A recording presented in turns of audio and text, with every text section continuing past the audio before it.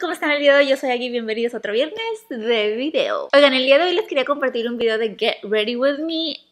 El día de hoy tenemos la cena de Navidad de la iglesia a la que asisto, así que les voy a estar enseñando el outfit que me voy a poner y un, un maquillaje muy sencillo, muy fácil de hacer también. Yo sé que para cuando ustedes vean este video ya va a ser mero Navidad, mero 25 de diciembre y sé que este video pues no lo estoy grabando mero 25 de diciembre, pero definitivamente creo que es un atuendo y un maquillaje que claro que sí usaría para Navidad, sobre todo si quieres ir cómoda, sencilla pero bonita. Así que sin más líos, vamos a empezar con el video.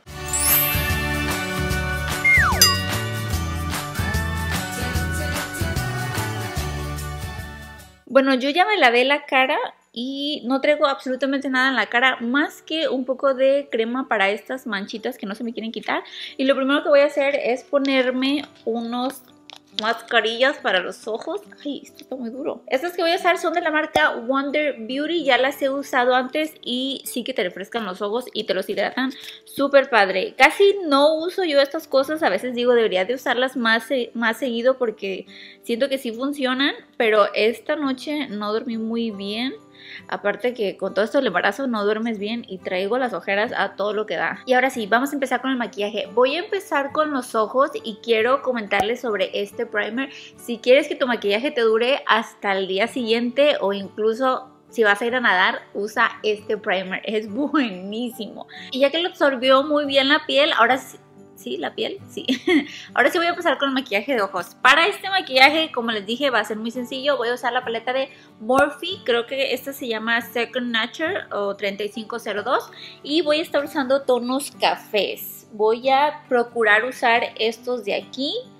Y también voy a usar esta otra paletita. Esta es de la marca Storybook Cosmetics. Y de aquí nada más voy a estar usando este dorado. Voy a empezar aplicando el tono café más bajito en la cuenca del ojo y por supuesto, ya saben, difuminando muy muy bien. ¿Saben algo que no les comenté acerca de este primer? Es que creo que ayuda más a las chicas que tenemos piel grasa o párpado graso porque lo que este primer hace es que tu párpado esté muy muy seco y por lo tanto la sombra no se corre, no se mueve, se queda en su lugar.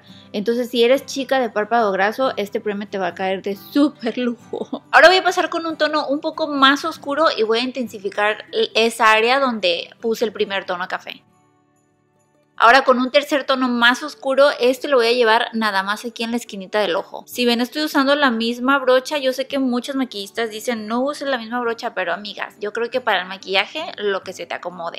Aparte porque estoy usando una brocha para difuminar y siento que me ahorra mucho trabajo en usar dos brochas. Y ya que hayas difuminado suficiente, bueno, ahora voy a pasar con un corrector y este lo voy a aplicar en la entrada de los ojos donde dejé como que este puntito blanco y lo voy a difuminar bien con mi dedo.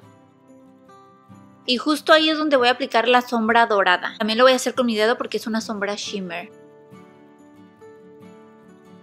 Ahora con tu brocha para difuminar otra vez y con el primer tono de café que tomaste voy a tomar un poco más de este producto y voy a mezclar el tono dorado con la primera sombra. Esto es para que no se vea como que la separación tan obvia o no, haya quedado ningún parche del tono dorado. Voy a usar una sombra mucho más clarita que es esta de aquí, se me había olvidado esto. Y esta la voy a aplicar en el huesito de la ceja. Esta es mate porque como ya hay brillo en esta zona no quiero que haya como que demasiado brillo en los ojos. Y difumino para mezclar esta sombra clarita con el primer tono café. Y bueno amiguitos, ahora voy a pasar a delinearme un poquitito el ojo. Yo sé que usualmente no me delineo, pero hoy me dieron ganas de delinearme. Voy a empezar primero con una brocha muy muy delgadita y con una sombra color café fuerte. A mí me gusta mojar un poco la brocha antes de aplicar la sombra. Y bueno, ya que la mojé y le puse un poco de sombra, me voy a ir bien pegadito a mi línea de las pestañas y va a ser un delineado muy delgado. Ahora ya que tengo mi delineado con la sombra, voy a pasar a aplicarme un delineador negro en líquido como marcador. Y me gusta hacer primero lo de la sombra porque como que creo un borrador, ¿saben? Hago el dibujo y una vez que me gustó cómo quedó, entonces ya paso el delineador líquido. Y siento que es mucho más fácil, sobre todo para estas personas que no somos expertas en aplicarnos delineador, empezando por mí porque como les digo casi no lo uso. Y creo que aquí está mi mejor intento de delineado. ok, ahora sí llegó el momento de retirarlo y listo, ojos hidratados. Voy a dejar que la piel absorba un poco lo que soltaron los parchecitos y me voy a pasar a hidratar la cara. Creo que para que un maquillaje se vea muy bonito, uno de los pasos más importantes es una buena hidratación de la cara y buena aplicación de primers y etcétera, etcétera. Yo empiezo siempre por usar este que este se llama The Professional y este ayuda para tapar los poros. Y este me lo llevo nada más aquí en esta zona de la nariz, que es donde tengo los poros como que más pronunciados ya que se secó, después uso este primer líquido, este es de la marca Wonder Beauty también y me lo llevo en toda la cara, pero de este pongo muy poquito. Y ahora sí, mi primer estrella, mi favorito de todos los tiempos es este, es de la marca Touching Soul, se llama Glassy, buenísimo, te hidrata la piel súper padre y hace que el maquillaje se te vea tan lindo, la cara smooth, hidratada y no sé, muy bonita. Y siento que con poquito que te pongas es más que suficiente. Este me lo llevo en toda la cara, excepto en la zona de los ojos, porque ya saben que me puse los parchecitos, pero no me he puesto nada de um, primers en la zona de los ojos y ahorita voy a pasar con uno. Ya sé, son muchas cosas para la cara, pero en serio vale la pena. Sobre todo si quieres que el maquillaje te dure las horas, toda la cena de Navidad, hasta el año nuevo. vale la pena. Ahora para los ojos uso este de la marca Tula. se siente tan rico a la hora de aplicarlo. Parece que te estuvieras pasando como que un hielito en la zona de las ojeras. No tanto así como hielito, pero lo que quiero decir es que se siente muy muy fresco y también ayuda bastante para el maquillaje. Y ahora sí, una vez que tenemos la cara lista, hidratada y bonita, voy a pasar a aplicar mi base. En este momento estoy usando estas dos bases, lo que hago es mezclarlas. Esta es de la marca Becca y esta es de Maybelline. Me gusta aplicar un poco en la esponja y de aquí pues ya paso a distribuirla Siempre hago primero la mitad de la cara y después agarro un poquito más de producto, poquito, y hago la otra mitad de la cara. No olvidar hasta la oreja para que no parezca que traemos una máscara.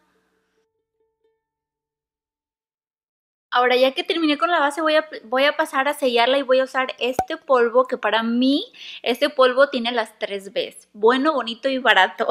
Este lo compré en Walmart y creo que cuesta como 5 dólares, 6 cuando mucho.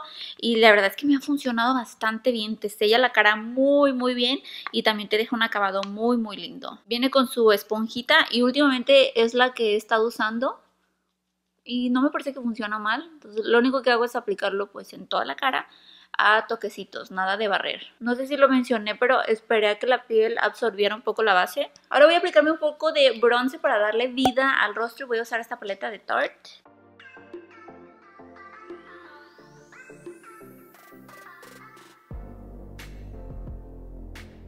Un poco de corrector en la ojera y yo solamente lo aplico aquí en la ojera. Ya no me gusta aplicarlo como que en la zona T porque siento que ya es demasiado maquillaje. Cada quien su gusto y pues ese es mi gusto. Paso a difuminarlo y este también lo sello con el mismo polvo que sellé la base. También me gusta dejarlo como un minuto para que lo absorba bien la ojera. Este lo voy a sellar con una Beauty Blender ah, seca. Ya vieron que me deja muy blanco, pero me gusta dejarlo así un buen rato. Bueno, no un buen rato, sino hasta que acabo de hacer el resto del maquillaje y ya después como que retiro lo que haya sobrado del blanco. El polvo sí me gusta bajarlo hasta la nariz, un poquito en la piocha y en la frente. No puse corrector, pero como que vuelvo a sellar esta parte. Ahora me voy a aplicar un poco de rubor y estoy usando la misma paleta de Tarte. Y a mí no me puede faltar la nariz. También me gusta darle un toquecito de rubor a la nariz porque siento que te da una apariencia como más cute. Y ahora darle brillo a la cara. Voy a usar esta paleta que también es de la misma marca de Tarte y esta es nada más de iluminadores y de contornos, de, de bronzers. Un poquito en la nariz con el dedo y en el arco de cupido. Ahora me voy a maquillar la parte de abajo de los ojos y para esto voy a usar el primer tono de café que usé en la cuenca del ojo y así nada más. No lo quiero tan cargado la parte del ojo porque planeo llevarme unos labios uh, con un tono algo fuerte, entonces no creo no quiero que el ojo se vea como más marcado todavía. Y para la parte del lagrimal voy a usar este dorado de aquí, también es un iluminador. Antes este era mi favorito y de repente lo dejé de usar. Se me había olvidado cuánto es que me gustaba y este me gusta subirlo un poco hasta como este nivel porque siento que hace que el ojo se te vea más grande, más despierto y pues más bonito el maquillaje. Ahora voy a pasar con la ceja, ustedes ya saben que yo no le hago tanto fiesta a la ceja, simplemente la relleno, como que la delineo un poco, le doy forma y ya está. Ahora voy a pasar a sellar el maquillaje y... espérenme.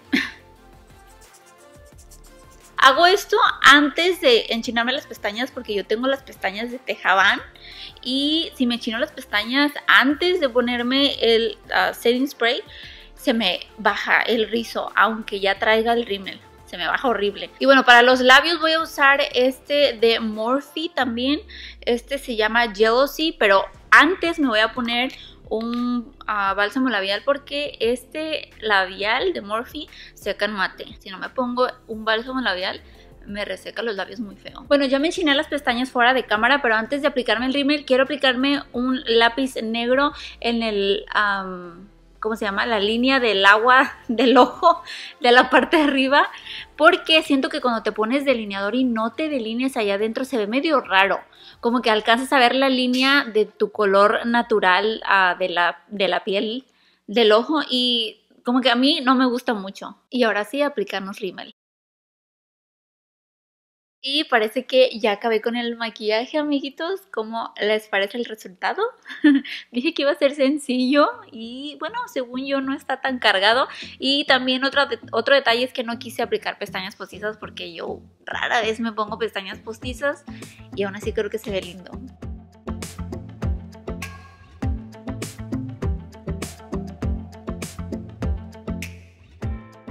Ok chicos, llegó la hora de pasar con el outfit del día y aquí lo tengo. Para la parte de arriba voy a usar una blusa negra de manga larga. Esta en realidad no se va a ver porque voy a traer un suéter ligerito, entonces no le presté tanta atención a cuál blusa me iba a poner. Simplemente una blusa como estas. Y encima me voy a poner este suéter que es algo delgadito pero está muy calientito y está haciendo bastante frío afuera, entonces aún así creo que me va a hacer justicia. Y también me voy a poner esta bufanda que tiene animal print. Es algo gruesa y por eso es que digo que no siento que voy a tener frío porque está muy muy calientita también. Y para la parte de abajo voy a usar unas leggings o unas mallas también color negro, son de algodón, están bastante gruesas y no son, no se preocupen, no son de esas que se te nota el calzón ni nada por el estilo. Aparte que el suéter me llega un poquito largo, entonces no se me va a ver nada de esas, de esas cosas que no nos gusta que se nos vean cuando estamos leggings pero no me preocupa, les digo, porque sí están gruesas, entonces no hay manera de que se transparente nada. Y de zapatos voy a usar unas botas largas, largas hasta la rodilla, también de Animal Print. Oigan, nunca pensé que yo me iba a poner algo así pero hay que atreverse, hay que cambiar de repente y estoy emocionada por usarlas. Fue un regalo que me hicieron y me encantan, me encantan. De accesorios, pues como voy a traer la bufanda, no me voy a poner cadenas ni nada. Si traigo esta ahorita y pues me la voy a dejar. Y de aretes, pues traigo estos dos chiquitos um, dorados y sí me voy a poner unos aretes dorados también de bolita, que como pueden ver pues no están tan grandes. Esto porque no quiero traer como que demasiado aquí arriba porque ya la bufanda va a ser como mucho bulto y siento que entre más, entre menos es más. Y también unos cuantos anillos, eso sí, los anillos no me pueden faltar. Del cabello, amiguitos, les confieso que no tengo idea de cómo llevármelo, me lo planché, entonces dije pues me lo voy a llevar así suelto, aunque ya ahorita voy a ver cómo es que se ve con la bufanda, porque pues planeo traer la bufanda pues aquí obviamente donde va. Entonces no sé cómo se va a ver el cabello suelto. Y pues déjenme cambio y ahorita les enseño para ver qué opinan acerca del outfit.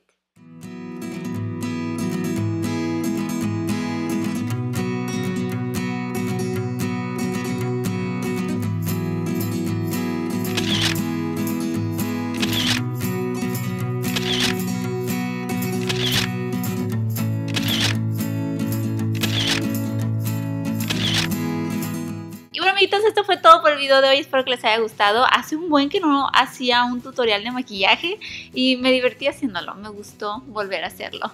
Y pues nada, hoy es día de Navidad. Espero que desde ya la estén pasando súper padre. Les mando un fuerte abrazo, que disfruten mucho el día, que disfruten a la familia, que se apapachen mucho, que se recuerden cuánto se quieren. Aprovecha este tiempo para perdonar, para pedir perdón, para fortalecer lazos con la familia o con cualquier persona que deseas hacerlo, pero que de alguna otra manera pues no te animas. Yo sé que estas cosas deberíamos hacerlas todo el año, pero pues ya aprovechando que la familia está reunida, pues hazlo, no te esperes para el año que entra. Y pues nada, que sigan disfrutando recuerden celebrar lo que verdaderamente tenemos que celebrar, que es pues que Jesús nació y que nació para morir por nuestros pecados. Así que como ya les dije, les mando un fuerte abrazo caluroso, feliz, feliz Navidad, feliz Navidad otra vez y pues yo los veo el próximo viernes con un nuevo video. Bye.